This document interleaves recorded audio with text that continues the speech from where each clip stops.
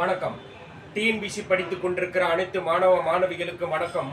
இந்த வீடியோவில் பார்த்தீங்கன்னா தமிழ் நைன்த்து தமிழ் புக்கிலேருந்து பத்து இம்பார்ட்டன்ஸ் கொஸ்டின் சிலபஸை பேஸ் பண்ணி எடுத்திருக்கிறோம். வாங்க பார்க்கலாம். ஃபர்ஸ்ட் கொஸ்டின் வணக்கம் வள்ளுவம் என்னும் கவிதை நூலுக்கு ரெண்டாயிரத்தி நாலாம் ஆண்டுக்கான சாகித்ய அகாடமி விருது பெற்றவர் யார்? ஈரோடு தமிழன்பன். ஜெகதீசன் என்ற புனைப்பெயரை கொண்டவர் இந்த ஈரோடு தமிழன்பன். ரெண்டாவது கொஸ்டின் வாயில் இலக்கியம் என்று அழைக்கப்படுவது எது? தூது. மூணாவது கொஸ்டின் தண்ணீர் தண்ணீர் என்ற நூலின் ஆசிரியர் யார்? கோமல் சுவாமிநாதன். டிஎன்பிசியில் அடிக்கடி கேட்கிற கொஸ்டின் த கோமல் சுவாமிநாதன். நாலாம் கொஸ்டின் மணிமேகலையில் அமைந்துள்ள காதை எத்தனை? முப்பது காதைகளை கொண்டது இந்த மணிமேகலை. சீர்திருத்த காப்பியம் என்று அழைக்கப்படும் நூல் மணிமேகலை.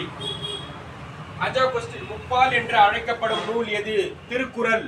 திரு என்னும் அடைமொழியை கொண்டது இந்த திருக்குறள்.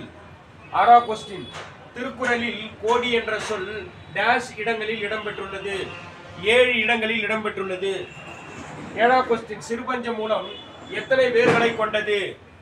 ஐந்து வேர்களை கொண்டது. கண்டங்கத்திரி சிறுவழுதனை சிறுமல்லி பெருமல்லி நெ- ஐந்து வேர்களை கொண்டது. எட்டா கொஸ்டின் ஏலாதி எத்தனை வேர்களை கொண்டது? ஏலம் இலவங்கம் சிறுநாவற்பூ சுக்கு மிளகு திப்பிலி ஆறு வேர்களை கொண்டது. ஒன்பதாம் கொஸ்டின் இந்தியாவில் தொடங்கப்பட்ட முதல் பொது நூலகம் திருவனந்தபுரம் நூலகம். பத்தாவது கொஸ்டின் மதுரை காஞ்சி டேஷ் அடிகளை கொண்டது. எழுநூத்தி எண்பத்தி ரெண்டு அடிகளை கொண்டது. Okay thank you